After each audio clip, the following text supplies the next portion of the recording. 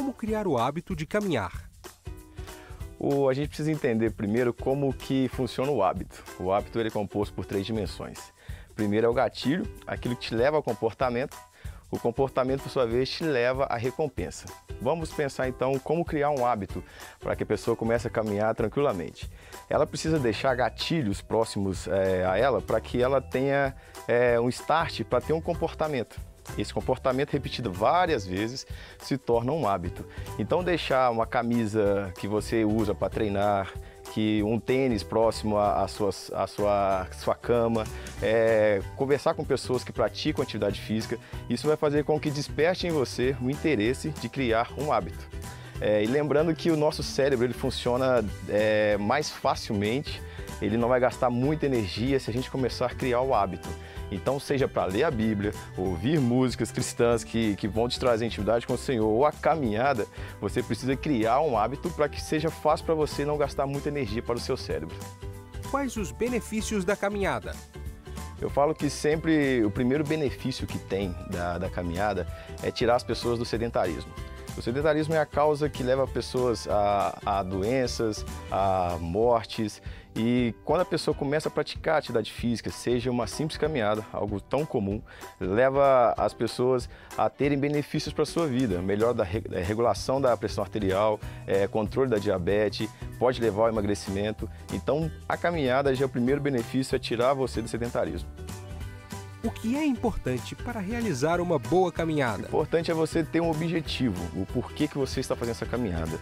É, e se você conseguir fazer com que você alie a caminhada junto com uma dieta, isso vai fazer com que você consiga melhor êxito, atinja seu objetivo e vai te estimular a conseguir mais êxito numa simples caminhada. Existe algum equipamento recomendado para se usar na caminhada? A caminhada é algo tão simples, né? tão funcional, que, que a gente fica perguntando o que a gente pode usar para fazer uma caminhada. É, mas existe também como você regular essa caminhada para que você prossiga, né, alcançando, progredindo na sua caminhada. Existem aplicativos hoje que você consegue, no telefone mesmo, você consegue ver quantos passos você deu durante o dia. E tem pessoas também que usam o pedômetro, que você pode calcular é, e tem alguns mais sofisticados que vê até quantos quilos você perde durante um longo tempo de caminhada, levando assim, pensando assim, a meses de caminhada, quanto tempo você perdeu. Esses equipamentos podem te mostrar isso. Qual o tempo aconselhado para uma caminhada? Para a pessoa que vai começar a praticar atividade física, uma caminhada, é, eu recomendo assim de 15 a 20 minutos, três vezes por semana. Você se sentindo bem, você vendo que não está te atrapalhando em nada, você pode aumentar esse tempo de, de caminhada, levando de 20 para 30 e de repente intensificar os passos assim, fazendo com que você tenha melhor êxito. Caminhar todos os dias faz bem? Eu creio que todo mundo caminha todo dia é, é interessante pensar o seguinte, caminhar todos os dias faz bem.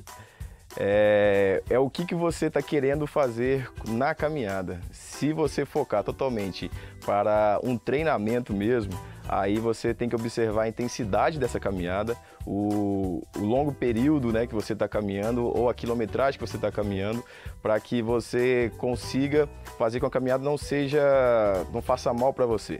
Mas isso dificilmente acontece, sendo que é algo funcional que a gente faz. Então é só pensar a respeito de como você está usando o seu sapato, o que, que você está fazendo durante esse período. Comer antes de caminhar faz mal? E depois?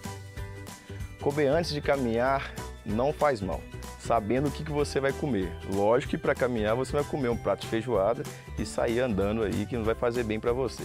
Uma dica que eu dou de alimentação é sempre você comer coisas leves antes da caminhada e pós a caminhada você comer alguma comida com proteínas também, porque querendo ou não, é, mesmo que seja pouco é, a intensidade da caminhada, existe um gasto calórico para isso. Então saber regular o que você comer antes e depois é sempre importante procurar um nutricionista. Fazer caminhada emagrece? A caminhada emagrece sim. Imagina você que, que não faz nada, que apenas fica em casa, é, não tem tempo para gastar energia física. Assim. Você começou a caminhar, você vai ter um gasto calórico. Né? Automaticamente você vai começar, o seu organismo vai entender que você precisar mexer nesse metabolismo, então o metabolismo vai acelerar. Automaticamente, passado um tempo, você vai precisar mexer um pouco mais na intensidade dessa caminhada ou, na, ou quantas vezes você está fazendo essa caminhada por semana e aí você vai conseguir emagrecer mais. Mas sempre lembrando que para um bom resultado você tem que aliar a caminhada junto com a dieta. Existe algum horário mais indicado para caminhar? Os horários que a gente sempre recomenda que não fique entre do 11 da manhã ou 2 horas da tarde, que é o horário que o sol está mais forte. Então, quando a gente for, quando você for caminhar, observe se você consegue caminhar antes de 11 horas e depois às 14 horas. Mas esse, esse período é exatamente o tempo que você tem para caminhar. Então procure um lugar onde você possa é, estar protegido do sol, né? De repente você tem 30 minutos do horário do seu almoço para fazer alguma coisa e só observar esses detalhes aí que vai dar certo. Sim. Devo fazer um exame médico antes de começar a me exercitar? Toda atividade física a gente aconselha para as pessoas fazerem ou avaliação física ou a liberação de um médico para que nenhum né, problema possa aparecer durante o período de caminhada. O que acontece muito é que muitas pessoas, quando vão para o trabalho, é, preferem deixar o carro em casa. Eu aconselho muito a fazer isso. Mas é importante lembrar que de repente o, o calçado que você está fazendo esse percurso não seja uh, adequado. E hoje existe palmilhas que você pode colocar em qualquer tipo de calçado que vai te trazer o um mínimo de conforto, fazendo com que você é, consiga caminhar tranquilamente. Mas o ideal é você procurar alguém especializado para te orientar melhor a maneira correta de você fazer uma caminhada sem muitos prejuízos. Né?